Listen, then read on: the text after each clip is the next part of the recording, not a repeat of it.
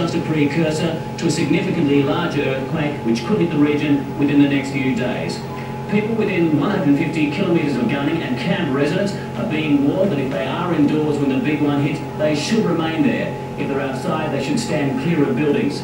People are also advised to prepare an emergency kits, including first aid, water, a battery-operated radio and candles. We'll more on this story as news comes to hands. In other news today, a scientific breakthrough was announced nationally today when...